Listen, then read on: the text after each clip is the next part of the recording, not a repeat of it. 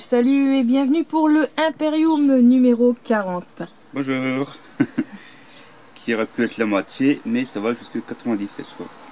Et ouais, donc nous revoici avec un destructeur catafron. Le troisième. Catafron, pardon. La troisième figurine. hein. Et Yes. euh, donc, si on compare les graphes du 39 et du 40, euh, je vais les mettre comme ça. C'est les mêmes. Bah, c'est quasiment, il y a quelques petits changements par endroit, Mhm. Mais c'est quasiment les mêmes. Et les armes, on a aussi bien le gros truc ici, le truc plasma qui est là, je sais plus trop où, là ici. Donc on retrouve à peu près les mêmes équipements de base et on peut personnaliser après selon euh, la main qui est sur le côté. Ouais, il y a quelques variants, ouais. Et on fait toujours le coup. Ouais. 10 euros au lieu de bah, la grappe qui fait 50, comme on l'a dit dans le De 50, précédent ouais. euh, numéro. Voilà, voilà. Date de 2014, Waouh, punaise, quand même. hein. Ouais, c'est ancien. Chez du vieux. Bien avant la nouvelle gamme Primaris de 2017. du coup. Comment recycler des vieilles euh, figurines Ouais, ouais. Euh, Adeptus Mechanicus, les divergences interdites. Et comme quoi, les, ceux qui se dévident leur truc, ils sont euh, recalibrés directement. Quoi. Ça veut dire. Bah, si tu te dévides de leur truc. euh, qui Il les reset, quoi. Il les re- Ouais, ils bon, effacent ouais, la mémoire. C'est ça, ouais. Pour ça qu'ils- que pour eux, les humains sont nuls et ils greffent des trucs mécaniques de plus en plus sur euh, les humains. Mhm. Voici deux technoprêtres. Un technogure qu'on a aussi, euh, qu'on a vu sur dans notre numéro. Hop. Ici, on a eu le technoprêtre qu'on a eu. hein. Les endurants, on les a eu aussi. Le technogure, on l'a eu. Et le destructeur catafron. C'est eux. hein. Ouais, c'est là. Donc, on peut lancer un D6 et trouver une divergence interdite pour le technoprêtre. Le D6. Donc, c'est voilà, toujours à chaque fois pour dire personnaliser encore plus les unités. quoi. Donc, tu lances un dé, tu fais un. Ouais, comme Bah, euh, voilà. les, les Mm. Skitaris sont améliorés de la technologie Xeno. Mm. Ah du coup, ils ont le droit vraiment qu'à une certaine technologie, si, si je vois. Bah, ça peut être ou comme ça, si tu veux vraiment jouer au truc, ou pour faire stylé, voilà, ton technoprêtre, euh, il ferme les yeux là, sur dans sa quête de Sarat, on dit il va prendre tout n'importe quoi, et eux ils subissent des lavages régulièrement pour ne pas voir ce qu'il fait, ça peut être vu comme ça. C'est pour dire personnaliser encore plus ton, ton armée. Euh, non, je comprends pas. Bah, c'est pas forcément pour jouer, c'est pour dire tu as une armée, tu te l'appropries et tu, les, ouais. mais- tu leur donnes un historique en fait. Ok. l'histoire à tes troupes, comme ça tu c'est plus les simples rangers qui t'arrivent, c'est les rangers qui sont régulièrement remis à jour, c'est le technoprêtre qui ferme les yeux sur les Mhm. trucs. qui- Je croyais que c'était des malus en fait. Non, non, après tu peux jouer, tu peux faire le parti vraiment jouer encore plus euh, ton truc. quoi. La chute de Kadia, donc la planète Kadia qui a été détruite par euh, Abaddon, qui était juste à la sortie de l'œil de la terreur, donc euh, le passage où les, forces du Covid débarquaient à chaque fois, c'était la planète, on va dire, euh, gardienne. Quoi. Et Abaddon a réussi à la détruire il y a quelques temps. Les héros de l'Imperium, on a ici Belasirius Koble, grand technomage ici, le chef. La Céleste, bah, du coup, comme un beau faire. La Célestine, euh, donc la Sainte Vivante, et une Inquisitrice. On a ici Abaddon. Euh, C'est griffe le bazar ouais, bah c'est le. Ouais, je vois lequel, ouais. Il est aussi grand que Robus Gilman. Mm, mm. Non, Vous avez eu en même temps que je l'ai commandé.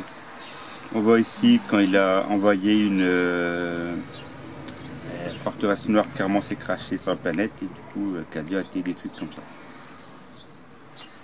Et du coup les forces du Coran peuvent mieux encore pénétrer euh, dans l'espace qui est le monde de protection. Les salamanders, donc c'est des guerriers qui vivent sur une planète en lave. Voilà. Hein Oui. Est un peu un bug. 404. hein. coûte 404 pour ce moment. Donc Salamander, c'est des space marines qui vivent sur une planète volcanique. Ouais, salut. C'est pour ça que leur peau est noire en fait. Il y a totalement noire qui vit sur une planète volcanique, un peu comme, comme les Africains, qui sont adaptés au climat en fait. Bah vrai. Attention, tu vas être ban. Bah, j'ai dit noir africain, je vais pas dire autre chose. Ouais, mais dire un noir. euh, Bon, il est chocolaté à 90% de cacao. Non, mais fais gaffe quoi, parce que tu vas, tu peux te faire strike euh, rien pour ça. Ça Ben, peut être considéré comme raciste. Tu sais, euh, Personne de couleur négatif. Je dis rien. Bah quoi, t'es marrant, toi, tu peux plus parler aussi. euh. Je veux dire, euh, on a ISO qui est espace marine. Les gens comprendront. Euh, chaleur de la forme. Donc on a des multifuseurs, des combos lance-flammes. Un Drexagon qui est le commandant de la troisième compagnie. Il y a toujours des trucs de bracero sur eux. C'est vraiment euh, inspiré des flammes et il vit sur une planète totalement volcanique.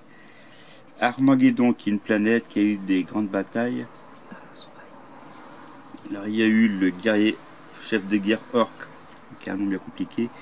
Et Gazgul Mag Uruk Traka, tout ça, qui lance sa vague. Et c'est aussi dans cette bataille-là qu'il y a eu le commissaire euh, Yannick.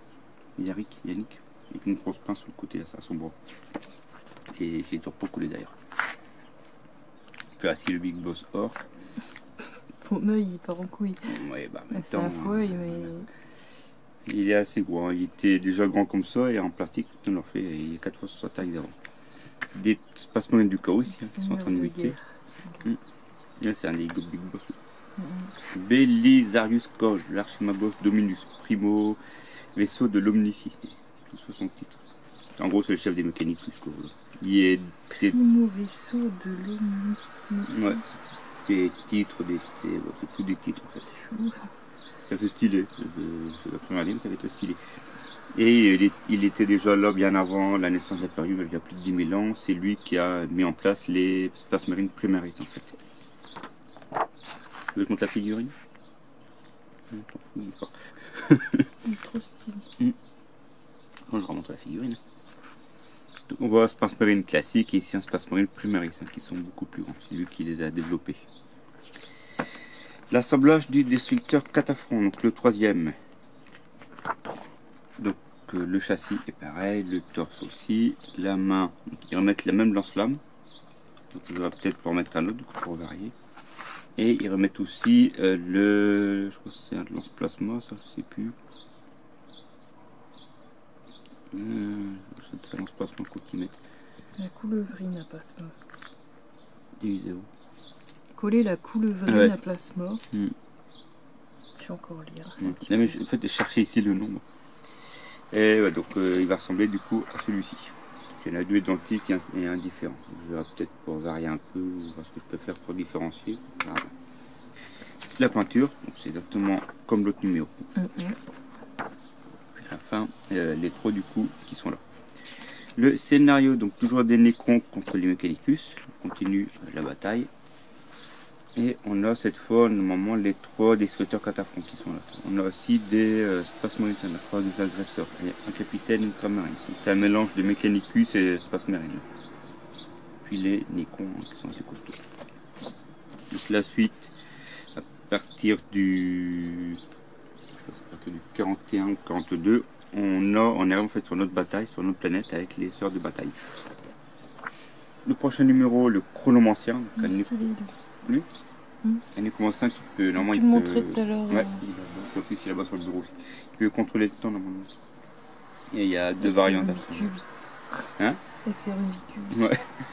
Et euh, dans le 42, la chanoise, donc la première Adeptus Sororita qu'on aura. Parmi les autres.